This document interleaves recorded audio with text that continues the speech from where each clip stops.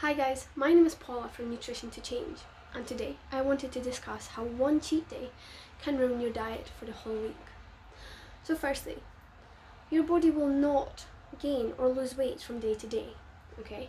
It will lose or gain weight based on the average calories you consume over the whole week, okay?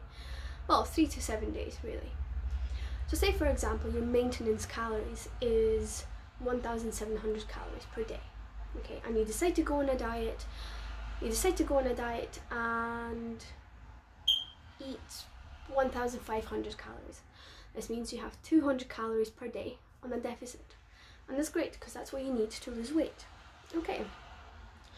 Say for example from monday to friday you decide to eat your 1500 calories and on a Saturday you decide to have a cheat day of 3000 calories.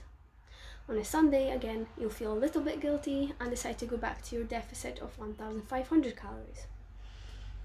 And the average over the week ca um, calculates to be 1700 calories, which, which is your maintenance. Therefore, over that week, you shouldn't lose weight, you shouldn't gain weight, you should have stayed roughly the same. So this is where people don't really understand where um, they're going wrong when they're on when they're dieting. Your cheat day has a huge impact, and you can also gain weight. Because say for example, from Monday to fr- to Friday you ate at your 1,500 calories. On a Sunday you have 3,500 calories, and on a on a Sunday you're again back to 1,500. Um, your your average overall over that week would have been higher than your maintenance calories. Therefore, you've gained weight.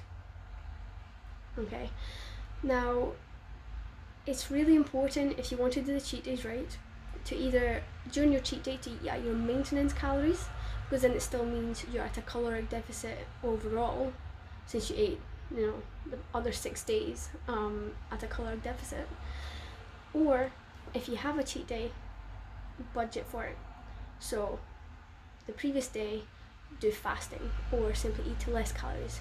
Have your cheat day and even the following days if you think you haven't budgeted enough, eat less calories to compensate for that cheat day.